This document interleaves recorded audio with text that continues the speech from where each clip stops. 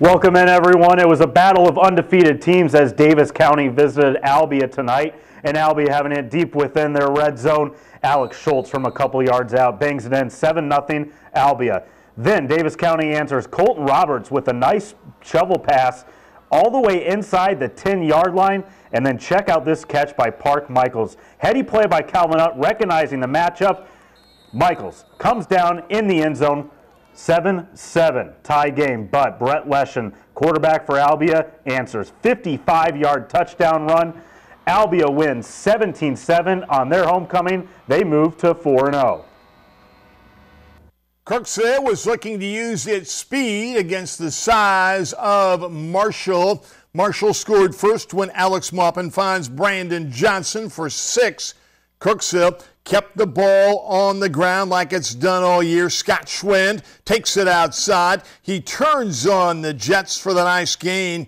However, the drive would stall. Kirksville had its best chance to score before the end of the half. It's Jonathan Brose with the nice catch then. Schwind would take it down to the one yard line, but the Tigers could not punch it in as time ran out for the second game in a row. It's no points for the Tigers. Marshall wins it 19 to nothing.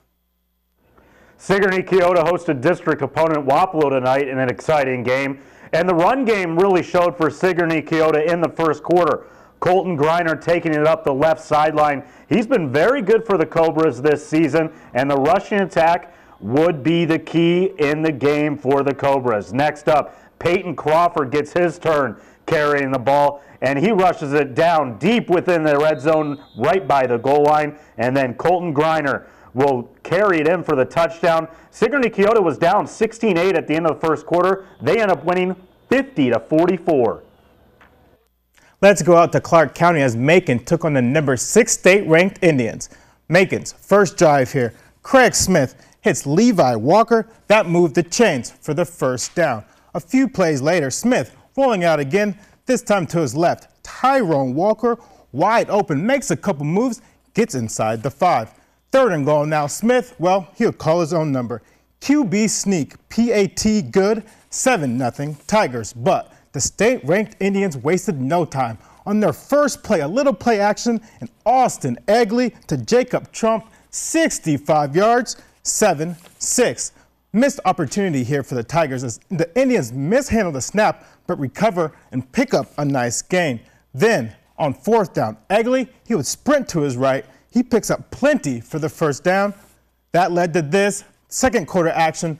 Tough running from the Indians running back. Touchdown Indians. They go on to win 42 to 21.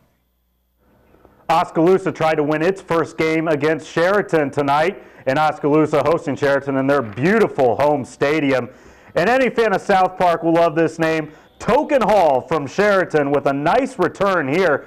Sheraton really had a good special teams going in the beginning, and Token gets it all the way into Oskaloosa territory. Sheraton would score a touchdown on that drive. So with, with Sheraton up sevens up, Oski battles back. Nate Van Veldhuizen.